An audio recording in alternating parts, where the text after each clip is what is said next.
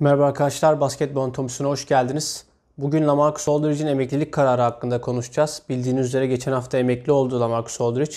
Hepimiz şok olduk. Neden böyle bir karar aldığını anlamadık ilk başta. Uzun bir metin yayınladı bununla ilgili. E, fakat şu an biliyoruz ki bunun sebebi kalbinde yaşadığı bir rahatsızlık. Bugün bu rahatsızlık hakkında konuşacağız. Sizlere bahsedeceğim. E, bu kanalda basketbolun medikal yönünü inceliyoruz. Sakatlıkları inceliyoruz ve sakatlıktan koruma yöntemlerini anlatıyoruz. Ayrıca ayakkabı tanıtımları, güzel videolar da yapıyoruz.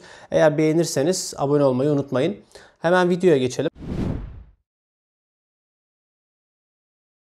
Öncelikle kalbin yapısını anlamamız lazım burada. E, gördüğünüz gibi kalbin aslında çalışma mekanizması çok basit. İşte kirli kan gelir, e, kulakçıklar, karıncıklar. Kirli kan gelir, akciğerde temizlenir. Daha sonra e, sol karıncıktan pompalanır tüm vücuda. Burada e, anlamamız gereken bir diğer nokta şu. Evet bu görselde daha iyi anlayacağız. Gördüğünüz gibi kalbin e, yapısı bu şekilde. Bunlar kulakçıklar, bunlar karıncıklar. Burada e, kalbin çalışmasını sağlayan bir nevi kalbin pili dediğimiz e, elektrik stimülasyonuyla e, başlayan bir olaylar zinciri var. E, buna biz sinüs düğümü diyoruz. Buna atrioventriküler düğüm diyoruz burada yazdığı gibi. Normal bir e, insanda bu şekilde ilerliyor süreç. Sinüs düğümünden başlıyor. Daha sonra atrioventriküler düğüme geliyor uyarı. Ve oradan bu şekilde yayılıyor. Gördüğünüz gibi iki yola ayrılıyor ve burada sonlanıyor. Fakat e, Wolf Parkinson White sendrom yani e, Lamarcus Aldridge'in muzdarip olduğu hastalıkta durum şu. Yine böyle başlıyor. Normal bir şekilde devam ediyor. Fakat burada ekstra bir yol oluyor. Yani tekrar bir stimülasyon gönderiliyor ve bu da kalpte aritmiye sebep oluyor. E, kalp daha fazla kan pompalayabiliyor. O anda bir taşikardi oluyor kişide.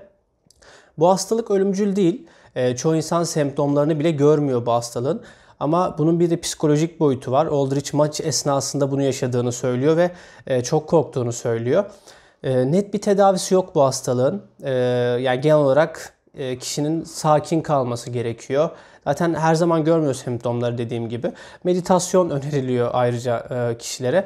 E, yani umarız Aldrich bundan sonraki hayatına sağlıklı bir şekilde devam eder. Bu hastalık zaten doğuştan oluyor genelde. Aldrich çaylak yılında da bu hastalıktan muzdaripti ve o yılda korku dolu anlar yaşadığını söylemişti 2006-2007 yılında. Zaten o Portland kadrosuna hatırlayacaksınız. Greg Oden, Brandon Roy ve Lamarcus Aldridge. E, maalesef üçü de sakatlıklarla boğuştu kariyerleri boyunca. Onları da tekrar hatırlayalım.